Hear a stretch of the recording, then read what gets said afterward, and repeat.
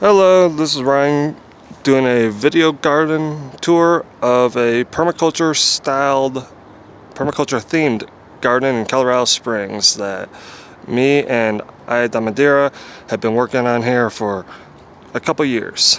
So now Aida Madeira here is going to be giving us a tour and explaining what we're doing over here. All right, welcome folks. Um, we started here with some pretty rough soil. You can kind of see right here. It's it's kind of like red rock dust because we're near the Garden of the Gods.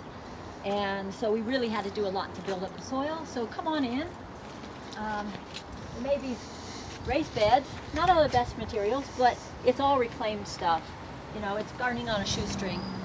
and um, this was the original part of the garden, just this section, and, and there were no raised beds. So I just got bits and pieces of wood that I was able to salvage and create these beds and started building up the soil.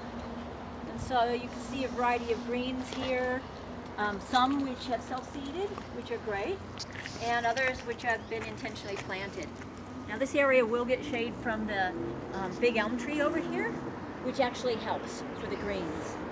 Um, then we went and expanded over to this area. And again it was pretty really rough soil. So it, it took time to build up. We've, we've struggled with insect problems. Um, as we have amended the beds it became more interesting to the insects to help um, break down shred that material which is good but they also shred the plants. So we've had our challenges but we keep going. Um, this bed has a bunch of basil we're trying to protect um, some of these beds from hail because we really get hail here in the north, um, the front range of the Rockies, and it could just wipe things out. It has in the past. I mean, last year three times hail. So this side over here is the newest.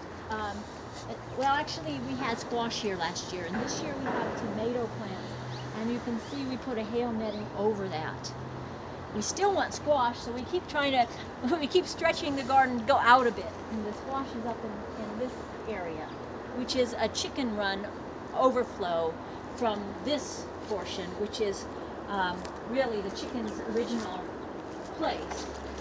So indoors, uh, in this shed is, is where the chickens actually roost. Um, they're little guys, little girls actually. Um, there's eight of them, and um, they are probably about a month to six weeks old. And inside is their um, evening time rest. We'll actually put a shade cloth over on this because it gets pretty warm um, in the midday. Here's another bit of a covered place. Um, what we try to do is not only protect from the hail, but there's a few places we're going to try to overwinter um, stuff. Last year we were kind of successful in, in a different location which we may go by. Um, yeah, we'll, we'll give a tour about the other parts of the garden after this part. Yeah, there's this is only the first part. Um, and uh, when the sun is out, it's pretty harsh, so we're protecting this little lettuce plant that volunteered in this place. Oh, do you have any examples of, you showed the soil where we started. Can you, oh. do you have any soil that you could uh, show sure. here that you haven't planted in yet? Sure, let's see. Most of this has been planted, but I can um, maybe grab a handful.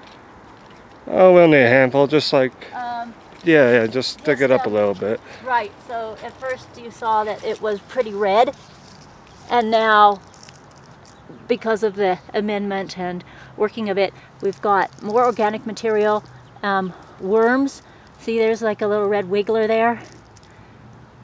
And it's amazing what kind of life will just come in on its own if you create the conditions for it.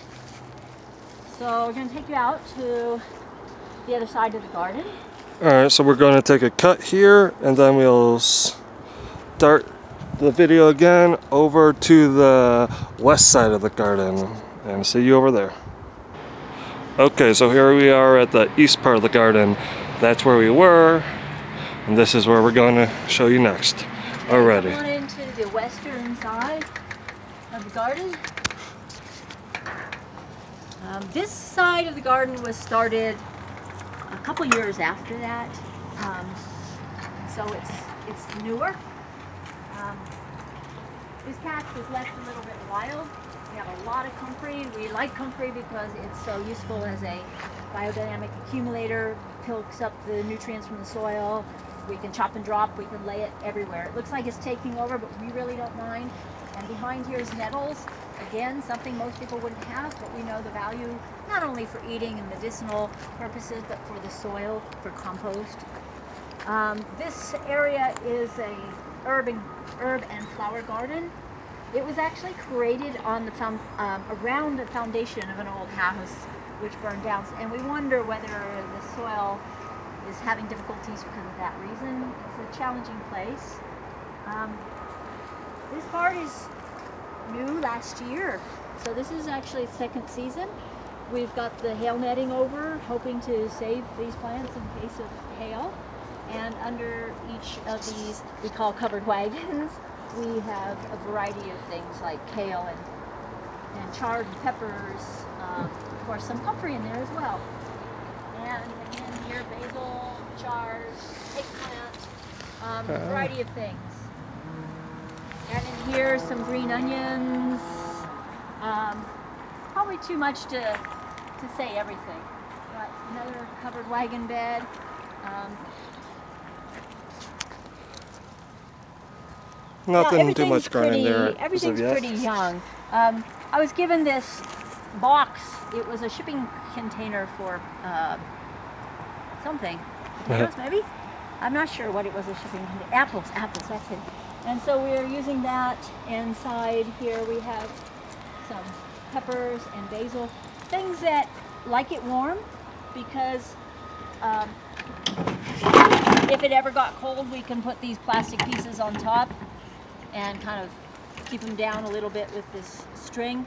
Um, but we've got to be really careful because the sun and comes out of the clouds and you can bake this stuff really bad um, quickly, very quickly. And um, then it gets cold and this weather is just so variable. So it's kind of a challenging place to garden. Uh, let's see. Come around here and we'll take a uh, look at the um, labyrinth area. Now this is an area that is meant to be somewhat contemplative as well with flowers and herbs and um, walking. So one could come in to the labyrinth here, walk around, basically snake around the entire garden on this side and continue. But this soil was just like the rest. It was all this rock, red rock dust of stuff. So um, what I did was just to basically take a lot of wood chips and horse manure from uh, local stables and just raked it into these uh, areas and put the rocks around them to help define it. So that's basically what it is. And what we're doing is we're growing things that are going to build the soil. Our intention right now is not to grow um, edible food here right now. So this is buckwheat all in the middle, comfrey. I put in a few bean seeds. They haven't come up. You know, beans being a good, good one for fixing nitrogen. And so that's the whole purpose of this is, is to build the soil. Why don't you tell them about the few uh, annual uh, edibles that you got going on over here? Like the berries and the trees. Oh, okay. Well, these are perennials. These are elderberry bushes. And um, we're happy to see them grow well. A deer got in and munched them down to the ground, but they, they came back, fortunately. We've used this netting around the perimeter. It was um, given to us. It looks like something from a golf course or a batting cages, kind of funky, but you know, again, we use what we can. Um, reclaim